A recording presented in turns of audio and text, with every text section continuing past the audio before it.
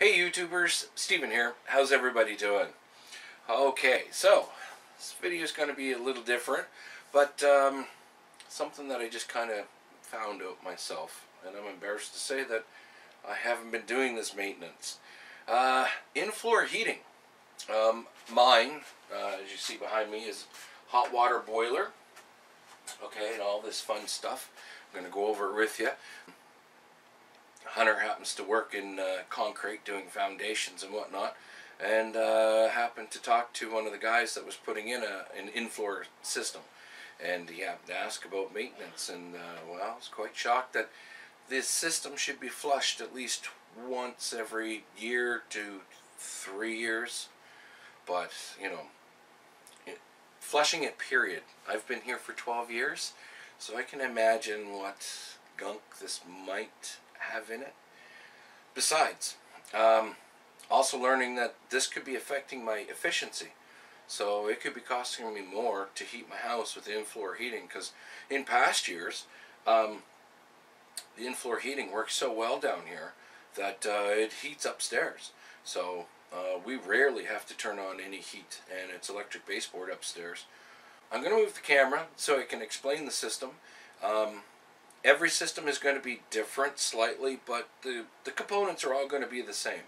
So uh, we can go over everything and um, uh, cross our fingers that I don't run into any problems and uh, well, I can't wait to see what comes out the end of the hose. I won't be surprised if it um, if it looks like a lot of uh, brown or black sludge, but anyways. Let's get this set up and uh, let's go. Okay, so I'm squatting over. We already discussed this is hot water boiler. Um, so, over here, we'll start with the fresh water. This is a fresh water line. Um, this is in the off position because you only put the water in the system.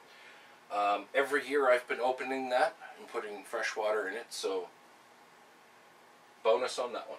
Um, so we come down here, this is a pressure relief valve. Uh, its exact function, not 100%, but the water comes in and then we come in here to a split with, it has another pressure valve up here.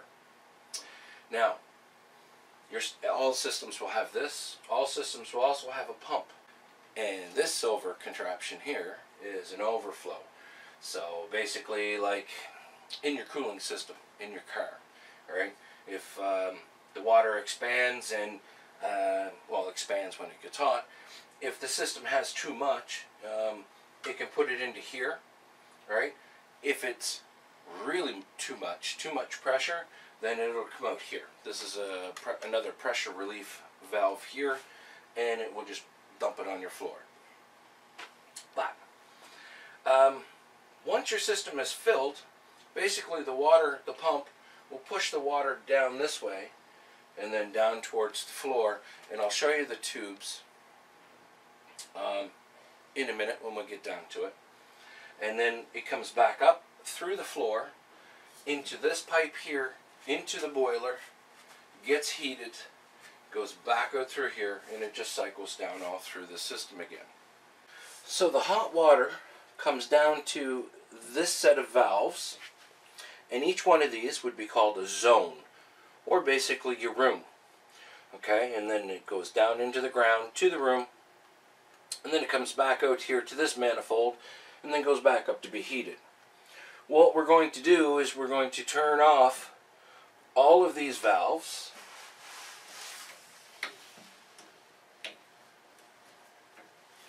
Like so. And then once we hook up our water we're going to open one valve at a time and we're going to flush that zone out until it runs clear out at the street you have the, the gist of how the water is going to cycle. I keep doing it this way. It's actually come this way, how it cycles. So we don't want the sludge going through the boiler. Hopefully that wasn't too loud. So there's, that's, took me a, a few minutes to figure out why there's two of these valves here. Um, there's a shut off valve here in between. So we're going to pull this so that we're not putting the sludge and crap into the boiler. Alright, so the water, the fresh water is going to cycle through the system and we're going to hook up our hose here so that it'll send it out to the street. We'll do all through the valves. We'll get all those done. But then we still have the boiler to flush out as well. All right? So in that case, we're going to disconnect it here. Alright? Close this one off, disconnect it. Then we're going to disconnect our hose to this one. And then we're going to turn on the fresh water again. And then that's going to, up here at the split, the water's not going to go through the manifolds because we've got it shut off. It's going to force the water through the outlet into the boiler and back flush it. At least that's my theory how it's going to work. Alright, so hose is on. It's good and tight. Got it run out to the street. So let's open the valve. Listen for any bad noises. I'm going to open the first valve for the first zone. Oh, some gurgling. And I'm just going to gently turn on the cold water.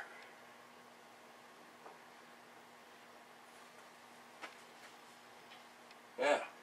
Let's go outside and see what's happening. Well, the good news is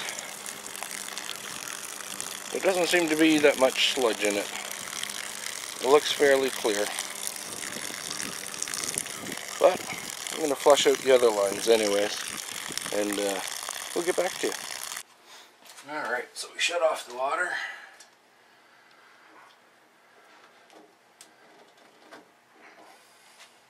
Here's a, something to think about.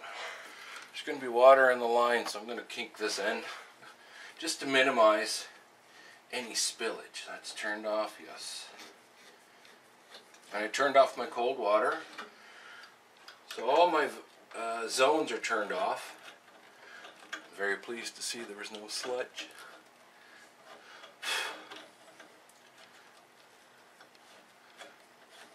Making sure I don't cross thread this. Alright, nice and tight. Alright, now I'm going to turn on the cold water and see if I can flush this out.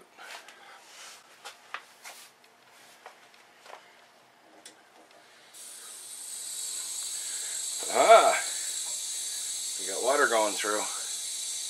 Be right back. Okay, we're back. So, I've just removed the hose. Remember to kink it. Okay, I'm down in the basement, so all the water that's in the hose down to the floor, if you don't kink it, it's all going to come down. So make sure to kink it, put it out the window, and then you can let it go. And then that way you're not spilling any water in here. Because I have zero water on the floor. Quite impressed. I was waiting for everything to go wrong. So, let's turn our expansion take valve back on. Um, I didn't say that earlier in the video. You should turn it off the pressure in it should keep any water from going in, but I digress. So we're going to open this valve back up. I'm going to turn the water back on again, just so that the water, the system pressurizes water. Um, I'm sure the water coming through this line probably doesn't fill these hoses so well, so not sure, but let's open our valves back up. And we'll just uh, wait a couple of minutes. Everything will get pressurized and we should be golden for this year. So hopefully you found this video useful, helpful. Um, I'm glad to see that there was no sludge in my system. So, so hopefully when you do this yourself, you'll have the same results. It'll be nice and clear. It'll just give you that peace of mind that your system's going to be running at its most efficiency, whatever that is. But you know what? Uh, a system's going to work better maintained than not. So if you really like this video, share with your friends and um, you know leave a comment below. Say hello. So until next time, cheers. Oh wait, don't forget turn your cold water off once your system's pressurized. Catch you next time.